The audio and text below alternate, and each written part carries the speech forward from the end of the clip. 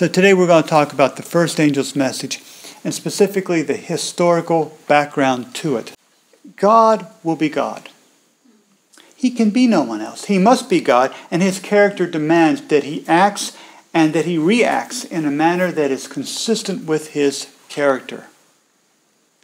Now, there's a principle that I want to discuss as we begin, and it's called the full cup principle, or at least that's what I call it. The full cup principle. And this concept is simply that God does not bring destruction upon a people until their cup of iniquity and sin is full. And they, at the same time, have had an opportunity to be warned of coming destruction and to repent. God told Abraham concerning his prosperity that they were going into Egyptian bondage.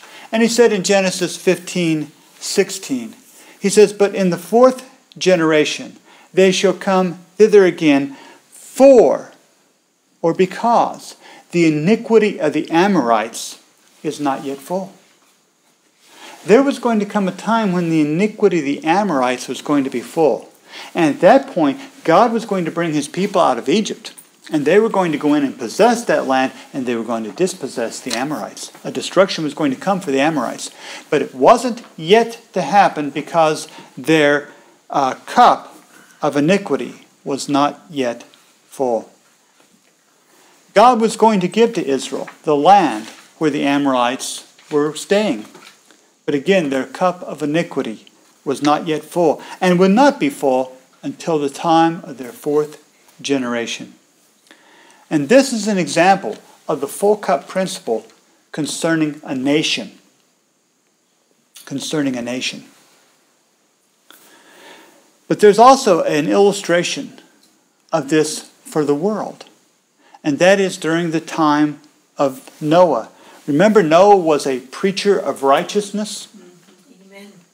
And God inspired that preacher of righteousness to warn the antediluvian people for how long? 120 years. 120 years they had a warning. You know, there were people who in 1944 began to give up on the Advent movement because they said, you know, we've been around for 100 years. And surely we made a mistake. God must not be in this.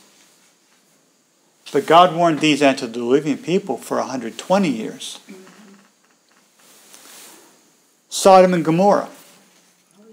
They are cities that illustrate the full cup principle. Before destroying Sodom and Gomorrah, God used Lot to warn any who would heed the message of coming destruction. He sent angels there to try to take out any who would listen. In the year AD 70, the destruction of Jerusalem occurred. But before that, God gave warning upon warning, beginning with the ministry of Jesus Christ. This world is again slated for destruction because its cup of iniquity, friends, is almost full. And if you don't believe that, just look at the news. Look at the news of, of the sin that is now out of the closet and, and in the open. Look at the destruction that is coming upon cities and, and, and areas, telling us these catastrophes that Jesus spoke of are coming with great rapidity and they are here um, among us at this time. God has a warning. God has a warning for this world. And that warning is found in Revelation chapter 14, verses 6 through 12. Let's read it. After speaking of the 144,000, and I saw another angel fly in the midst of heaven, having the everlasting gospel to preach unto them that dwell on the earth, and to every nation and kindred and tongue and people, saying with a loud voice, Fear God and give glory to him, for the hour of his judgment is come and worship him that made heaven and earth and the sea and the fountains of water. And that's the first angel's message. And now we have the second. And there followed another angel, saying, Babylon is fallen, is fallen, that great city, because she hath made all nations drink of the wine of the wrath of her fornication. I talked to a man one time, and he said, this man claims to be a preacher. Might be preaching today, someplace else, close by. And he said, You know, I, I don't preach second angel's message.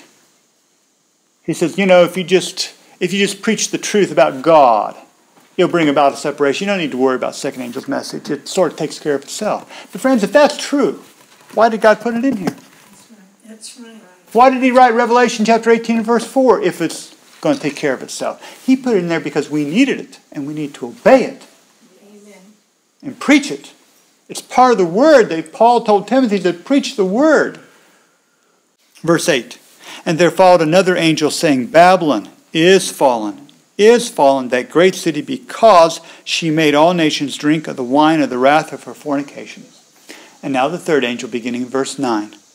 And the third angel followed them, saying with a loud voice, If any man worship the beast and his image, and receive his mark in his forehead or in his hand, the same shall drink of the wine of the wrath of God, which is poured out without mixture into the cup of his indignation, and he shall be tormented with fire and brimstone in the presence of the holy angels and in the presence of the Lamb, and the smoke of their torment ascendeth up for ever and ever, and they have no rest, day nor night, who worship the beast and his image, who receiveth the mark of his name. Oh, we don't need to preach that. Let's not talk about the beast power. Let's not talk about the man of sin. Let's not talk about the leader of this great organization. We don't need to. That's what some would tell you. And then some would tell you that verse 12 isn't, listen to me, that verse 12 isn't a part of the three angels' messages. That's right. I heard that proclaimed in France by ministers. They said, oh, that's not part of the three angels' messages. Revelation 14:12 Here is the patience of the saints here are they that keep the commandments of God and the faith of Jesus and when we get to the third angel's message we'll be reading you many statements that says that this is part of the third angel's message don't ever be in confusion on that this final message of mercy and warning invites people to accept the everlasting gospel and to keep the commandments of God and the faith of Jesus Friends, God has been planning for this final assault. He's been planning well, but Satan has also been planning his final series of assaults. You might find it interesting that in the year 1844, Charles Darwin wrote his first essay that would form the basis of his work, The Origin of the Species.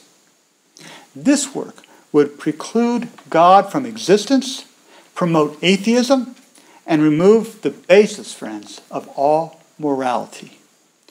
Darwin, his supposed discoveries, gave the scientific support for the rendering of God as being unnecessary.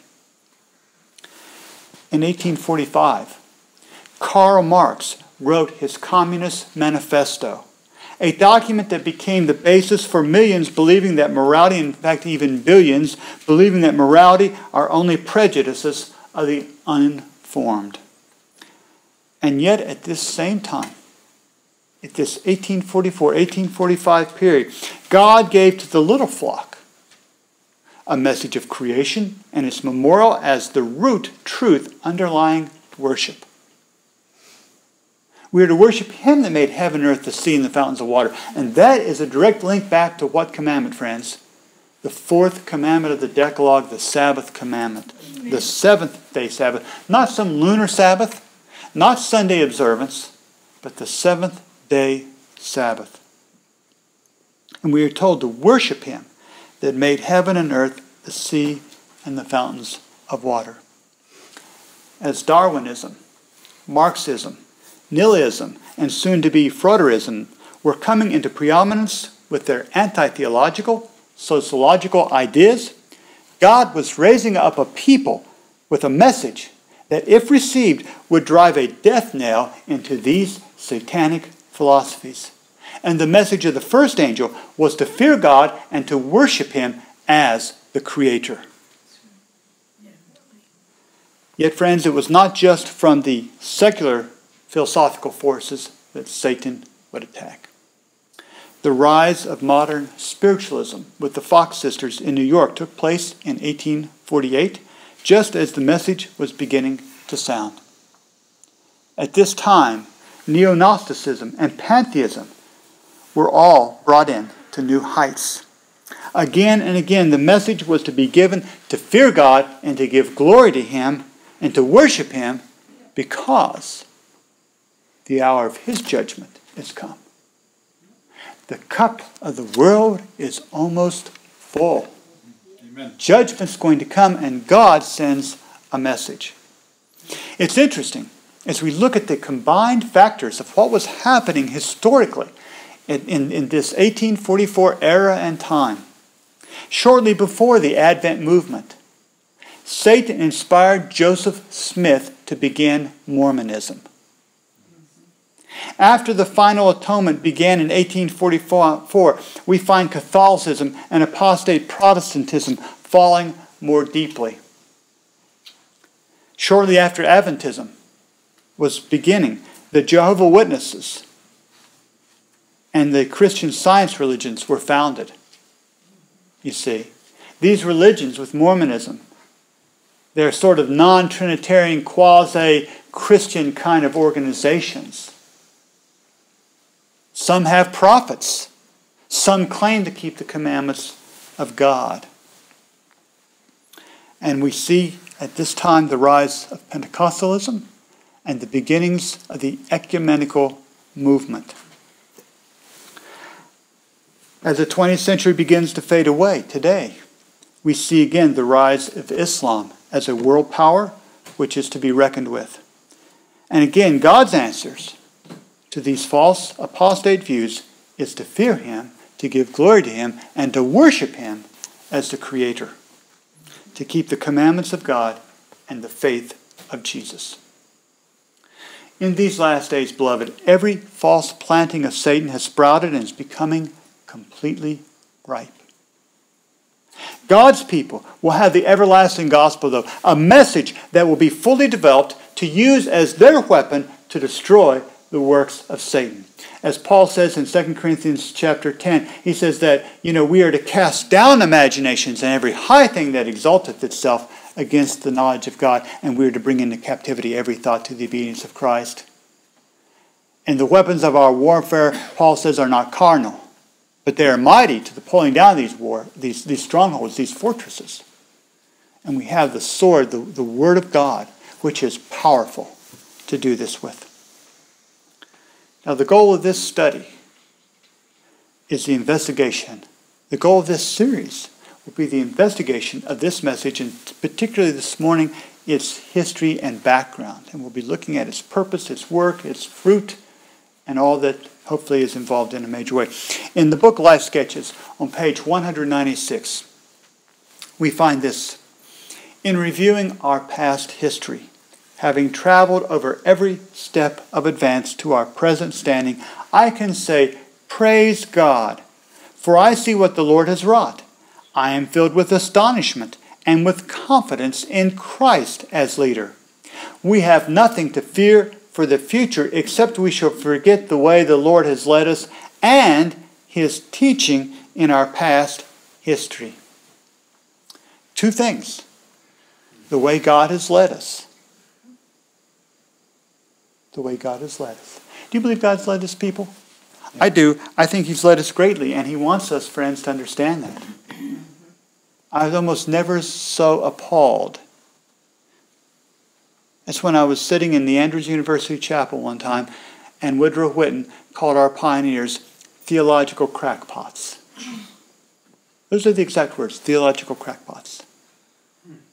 Because they didn't believe in the Trinity, they became theological crackpots. I believe God led those men. They were great men. They were giants in the Bible. And she says, We have nothing to fear except we shall forget the way the Lord has led us and his teaching his teaching in our past history. And Ellen White was so, so firm of this past teaching, so firm in it, that in 1881, in Volume 4 of the Testimonies, on page 595, I don't have the slide for it, but she says, It is as certain that God lives, as, it is as certain that we have the truth as that God lives. That's pretty certain, isn't it? In Deuteronomy chapter 29 and verse 29, it says, The secret things belong unto the Lord our God. We don't know everything, and we may never know everything, friends. But those things which are revealed belong unto us and to our children. How long? forever. God has revealed many things. Sometimes we use the first part of this verse to say, oh, that's a secret. We don't know. God's got the secret things. And He does, some things. But there are things that have been revealed. And they are to us and to our children. They were to our Adventist pioneers and to their children and to their descendants, their spiritual people that are us. Now, the secrets belong to God, but friends, again, He has shared some of His plans. And when He does share, He shares through His servants, the prophets. In Amos chapter 3 and verse 7, it says, Surely the Lord God will do nothing, but he revealeth his secret unto his servants, the prophets. So when God's going to bring coming judgment, what does he do? He sends prophets to reveal these things so that people can be warned and people can flee destruction and come into the everlasting arms of Christ where there's safety and security, friends. That's what we need today. When God's plans involve men or women or he calls for their involvement, he reveals his secrets to the prophets so that men and women may know what is expected of them and how we are to respond properly. Faithful men and women arise not by chance, beloved, but rather by God's calling and in God's time and in His manner and in His bidding. Amen. Amen. The exodus from Egypt was foretold to Abraham hundreds of years before. We read part of this, but let's go in Genesis 15, verses 13 through 16. And he said unto Abram, Know of a surety that thy seed shall be a stranger in a land that is not theirs, and shall serve them, and they shall afflict them four hundred years. And also that nation whom they shall serve will I judge, and afterward shall they come out with great substance. And thou shalt go to thy fathers in peace Thou shalt be buried in good old age, but in the fourth generation they shall come thither again. So God had a plan. And it was a long range plan. It wasn't anything happening that was going to take God by surprise. And friends, in your life today, things take us by surprise. Things happen that we don't expect at all. But be assured, it does not take God by surprise. When things happen to us, God is not uninformed, friends. He's there, and He's been planning maybe hundreds, maybe thousands of years for this very day. And He has a plan just for you at that time. In Acts chapter 7, Stephen noted, Acts 7 17, But when the time of the promise drew nigh, which God had sworn to Abraham, the people grew and multiplied in Egypt. He says that God swore this to Abraham. And friends, when God swears something, he never goes back on it. He is firm to his convictions and to his statements. His word is true. And so there was, drawing near a time, the way was being prepared for the children of Israel's deliverance from Egypt. This time schedule was controlled by the author of all time. And God saw the bondage of his people. He heard their cry, and he knew of their sorrows, friends. In Exodus chapter 3, and verse 7. And the Lord said, I have surely seen the affliction of my people which are in Egypt, and have heard their cry by reason of their taskmasters, for I know their sorrows. Do you think God hears the cries of his people today?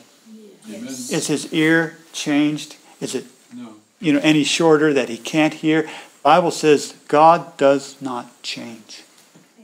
And He hears our afflictions today, and He has a plan today to deliver us from this Egyptian bondage of sin. And He's promised to do it. The time of their deliverance had come, and God prepared a man who was schooled in leadership, in the matters of the nation, in military warfare, a man, more importantly, with whom God could commune and could share direct instruction for his people. That's what God had prepared. And Moses was ready for the hour of deliverance. And when that hour came, God was ready. God was ready. Now, the Apostle Paul, when he was preaching before Felix one time, in Acts chapter 24 and verse 25, it says that he reasoned of righteousness, temperance, and something else. What is that last thing? He was to reason of judgment to come. In the day of Paul, those apostolic days, They didn't believe that when a person died, they immediately went to heaven or hell because they were somehow judged at death or judged already. Paul knew that judgment was something future, something that was going to come in another day.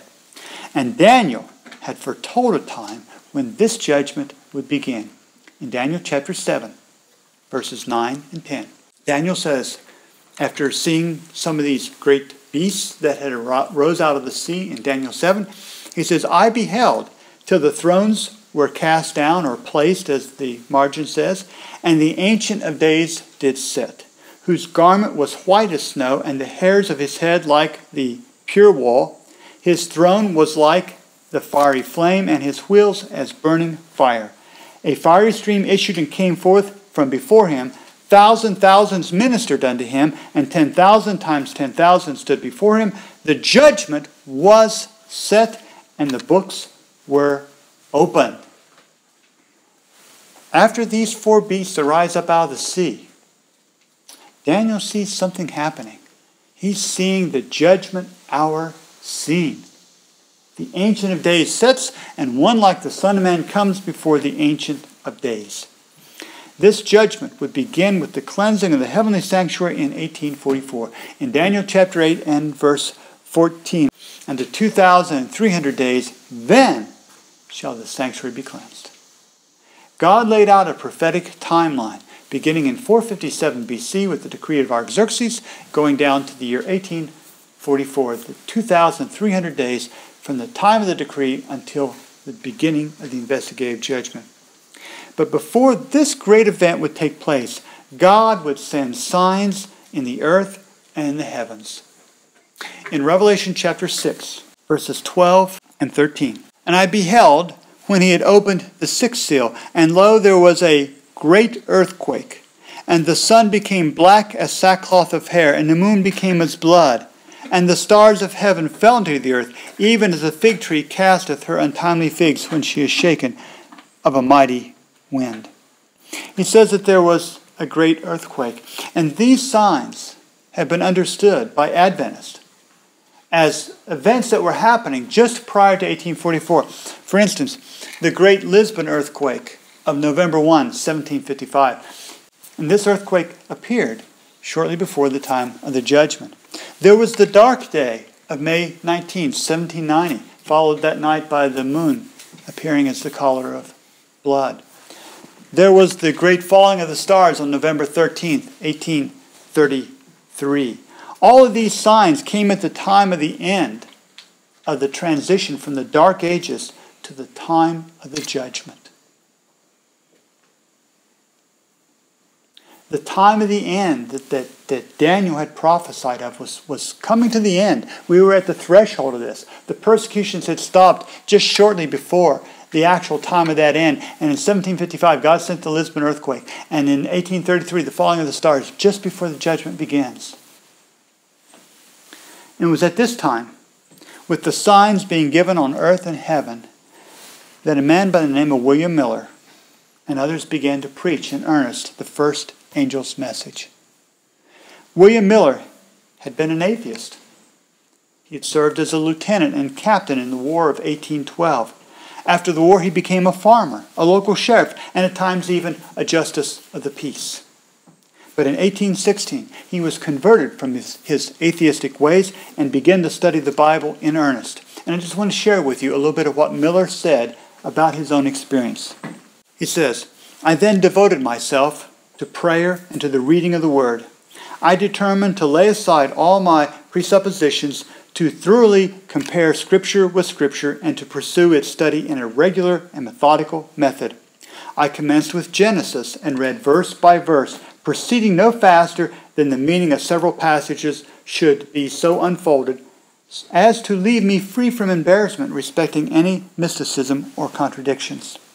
Wherever I found anything obscure, my practice was to compare it with all collateral passages, and by the help of Cruden, Cruden's Concordance, I examined all the texts of Scripture in which were found any of the prominent words contained in an obscure portion. Then, by letting every word have its proper bearing on the subject of the text, If my view of it harmonized with every collateral passage in the Bible, it ceased to be a difficulty. In this way, I pursued the study of the Bible in my first pursuit of it for about two years and was fully satisfied that it was its own interpreter. I found that by a comparison of Scripture with history, all the prophecies, so far as they had been fulfilled, had been fulfilled literally. That all the various figures, metaphors, parables, similitudes, etc., of the Bible were either explained in their immediate connection or the terms in which they were expressed were defined in other portions of the Word, and when thus explained, are to be literally understood in accordance with such explanation. I was thus satisfied that the Bible is a system of revealed truths so clearly and simply given that the wayfaring man, though a fool, need not err therein. And that's what William Miller said.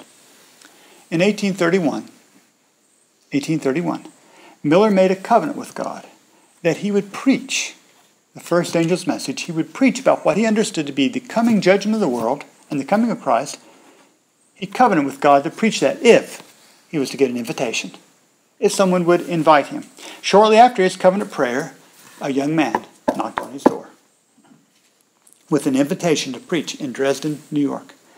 In 1833, Miller received a license to preach from the Baptist Church, and Miller was convinced by the prophecies that Jesus was going to come in either 1843 or 1844. And as he shared, people began to listen.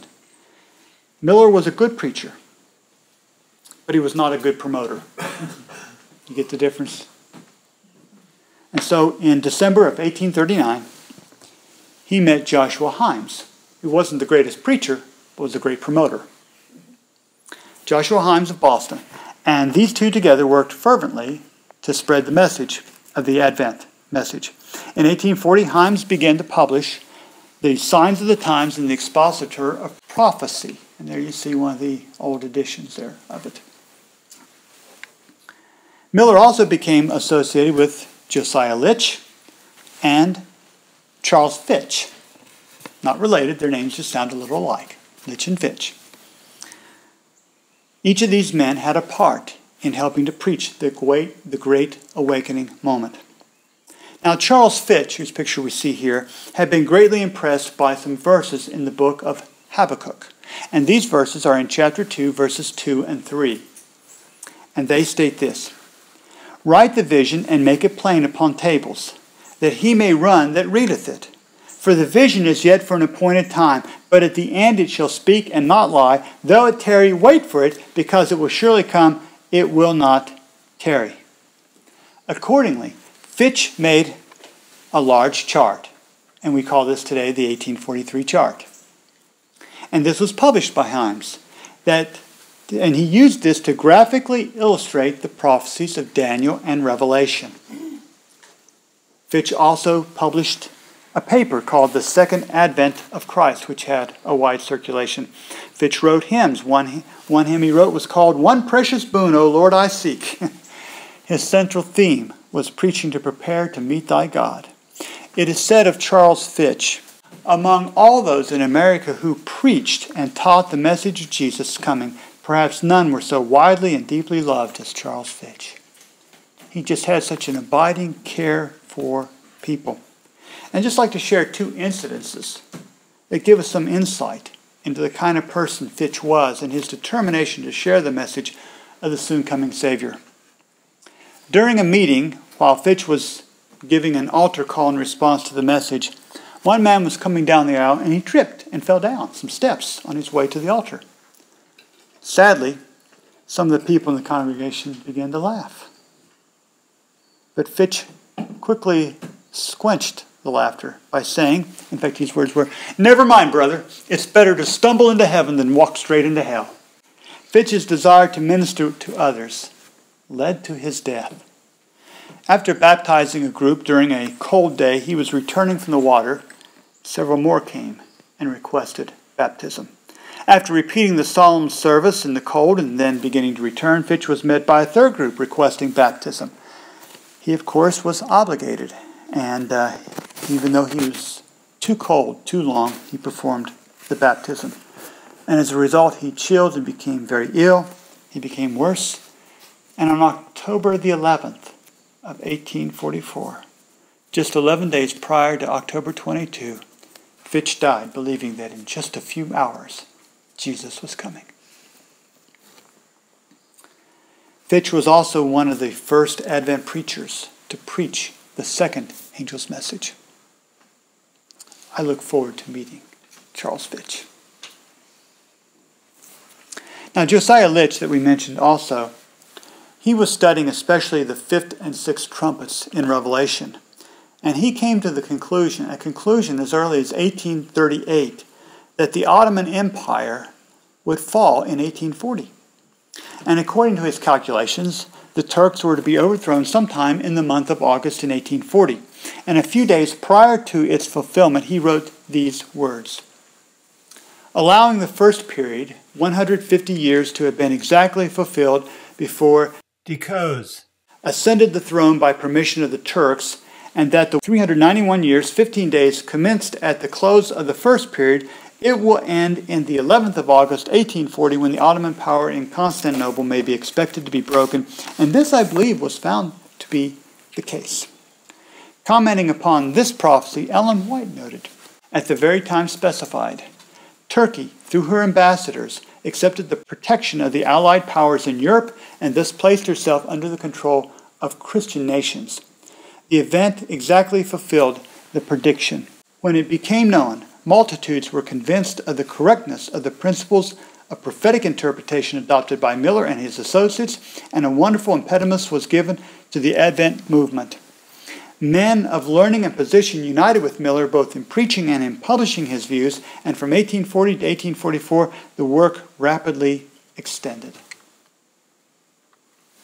Now, there were other notable persons who became involved in the Advent movement. And I could speak to you today about George Storrs, James White, Joseph Bates in America. We could talk uh, about Bengel and Kepler and others in Germany, the movement in Russia, Switzerland, Holland, and uh, you can read about all these men in, in great controversy. You can read about Dr. Joseph Wolff and the travels he had, and how God raised up many people simultaneously throughout the world to preach the first angel's message and the coming judgment. The Advent movement, beloved, was clearly a worldwide movement which went to all the ends of the earth. It counted as its followers numerous believers and produced voluminous amounts of literature. And in early writings, Ellen White stated this. She said, I saw that God was in the proclamation of the time in 1843. It was His design to arouse the people and bring them to a testing point where they should decide for or against truth.